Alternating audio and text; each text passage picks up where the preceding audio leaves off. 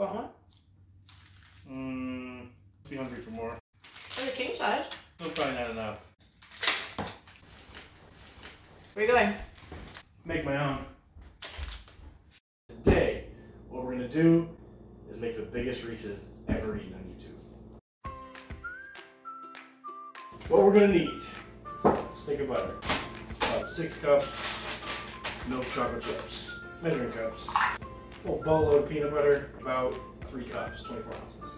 Our mold, which in this case is the top of a disposable pie pan, disposable pie pan, wax paper, three cups of powdered sugar, and our mixing bowl.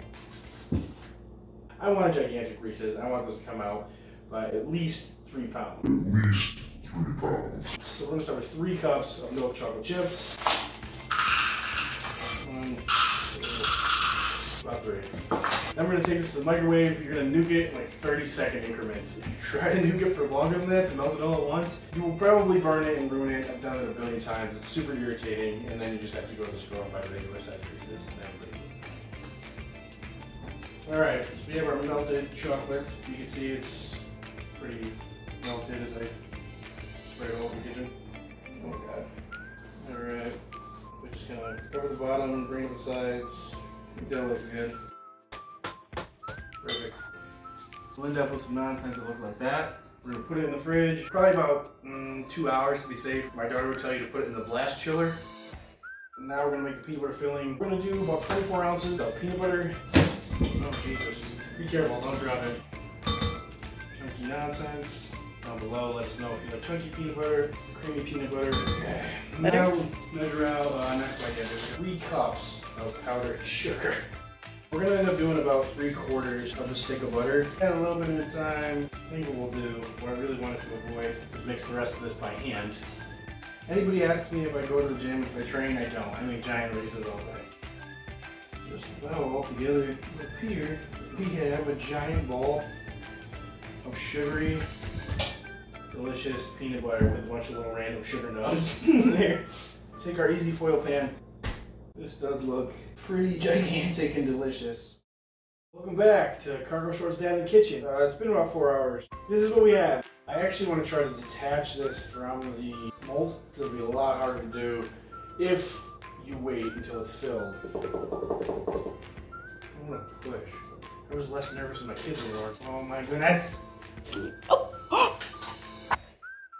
So now we're just gonna get in there, get that parchment paper kind of out, and we're gonna put her back in the shell. She's gonna fit like a glove. Now we're gonna take our peanut butter filling, which is pretty substantial. Kidding me? Pop. Gonna skish that down a little bit. So this is what we have. So oh my goodness, this is heavy. And now we get to make our top. Back to cooking. This is the leftover one cup from the four cup bag. This is two more cups, about two tablespoons of butter. Like that. I'm to nuke this again, 30 second intervals. Here we go. Oh, there we go. All right, Just put it everywhere. So this top is to be thick with two C's. That's nice, nice.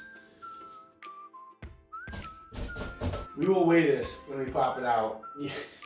Probably train with this thing. I'm excited. Let's take this out of the fridge and see if we didn't mess the whole thing up. This is what we have. A gigantic peanut butter cup. 0.0 ounces.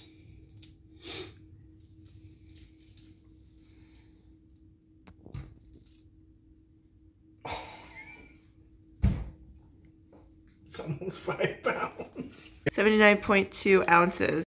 We have a, the identical plastic container here. This mammoth plastic container that it came in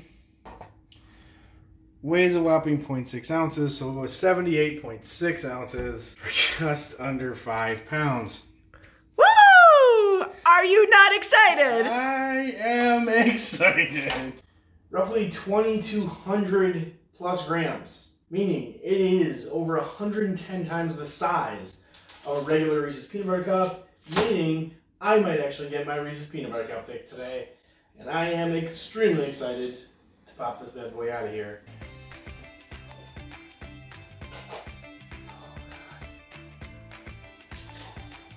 You know what's not gonna stick? The bottom. Eat your heart out, Reese's.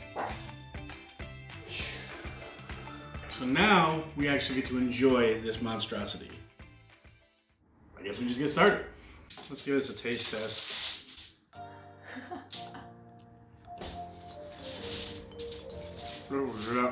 Outside stick. Mm, I love the assistant. Perfect. So we'll get you the macros. This is delicious. I'm not gonna lie. I love chocolate. I love peanut butter. Love you for watching this. Definitely dense though. The peanut is super good.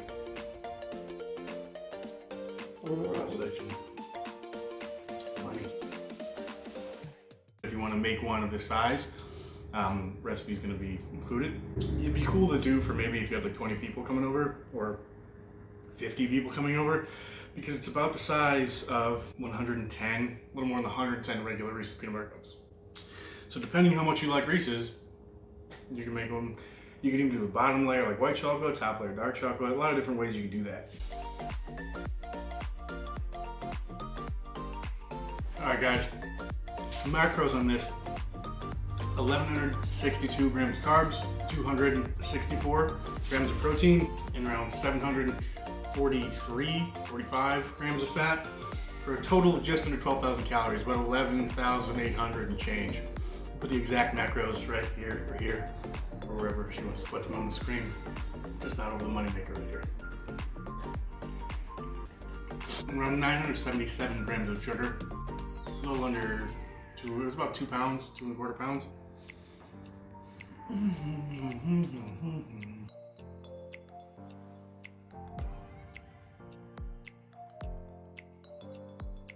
Peanut butter is probably my favorite part.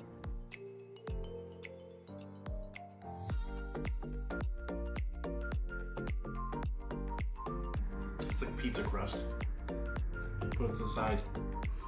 How do you normally eat Reese's? Sudo just asked me how I regularly eat Reese's. Man, I can't even think about it. About a normal size Reese's in my hand. I'm trying to. I don't know. I think I just eat them. Um, depends on which one. Like Kit Kats, I'm particular in how I eat them, and I kind of bite around the edges and try to save the middle wafer part. And um, it's Weird. yeah, it is weird. Or like Twix, even sometimes I'll eat the caramel and chocolate part off the top and save the cookie. Eat that, but I don't know. How do you guys eat Reese's? Do you eat around the edges and save the middle? Um, do you somehow eat the middle and then save the edges? Uh, if you do that, I'm impressed, and I kind of want to see how that works. Um, but yeah, I know everyone's got weird preferences like me with the Twix and Kit Kats. So. Well, know. For anybody who's thinking maybe it's not that heavy, maybe he's just pretending.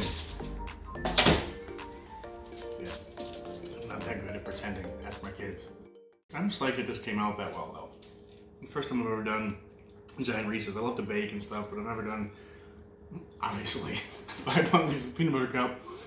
So I'm kind of really happy this came out. It makes me kind of want to try other gigantic creations. If you guys have any ideas, let me know. Um, I can make some giant five to 10 pound monstrosity and, I need it.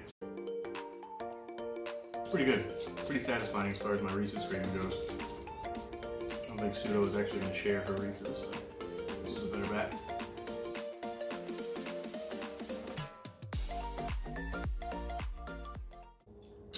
Stick to like a bodybuilding-esque diet, six-ish days a week.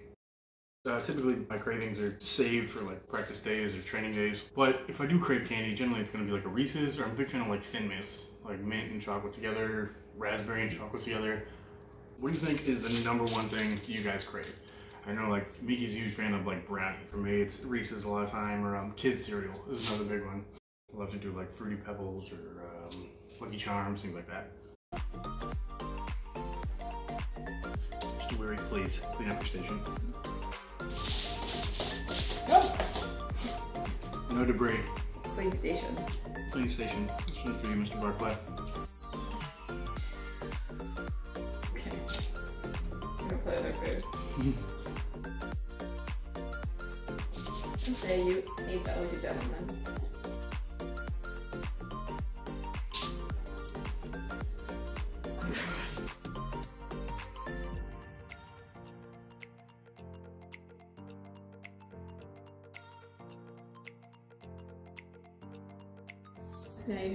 Much regular.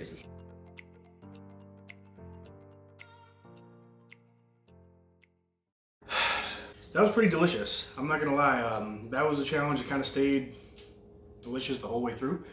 That was a lot of fun to make. Good amount of fun to eat too. So if you guys have any other cool ideas like this, maybe giant cookies, giant brownies, please shoot them down below. Let us know what you think. Until next time, uh, this was awesome. I'd like to thank my lovely assistant, uh, the beautiful Miss for helping me out with.